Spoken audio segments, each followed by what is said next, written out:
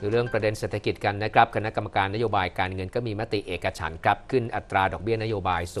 0.25%ต่อปีจาก 2%เป็น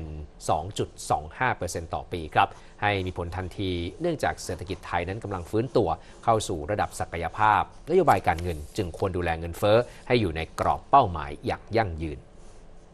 นายปิติดิษยทัศน์เลขานุการ คณะกรรมการนโยบายการเงินหรือกนงก็ถแถลงว่า เศรษฐกิจไทยนั้นมีแนวโน้มขยายตัวจากภาคการท่องเที่ยว และการบริโภคภาคเอกชนเป็นสำคัญขณะที่การส่งออกสินค้าหดตัวในระยะสั้นส่วนหนึ่งตามเศรษฐกิจจีน และวัฏจักรอิเล็กทรอนิกส์โลกที่ฟื้นตัวได้ช้า แต่คาดว่าจะปรับดีขึ้นในระยะข้างหน้าสอดคล้องกับแนวโน้มการฟื้นตัวของเศรษฐกิจโลก ทั้งนี้ความไม่แน่นอนทางเศรษฐกิจมีมากขึ้น ทั้งจากภาคการส่งออกที่อาจฟื้นตัวช้ากว่าที่คาด รวมถึงสถานการณ์การเมืองที่ยังไม่มีความแน่นอนสูง อัตราเงินเฟอ้อทั่วไปปรับลดลงจากราคาในหมวดพลังงาน มาตรการช่วยเหลือค่าครองชีพ และผลของฐานที่สูงในปีก่อนหน้า แต่ประเมินว่าจะปรับตัวสูงขึ้นในช่วงครึ่งปีหลังของปี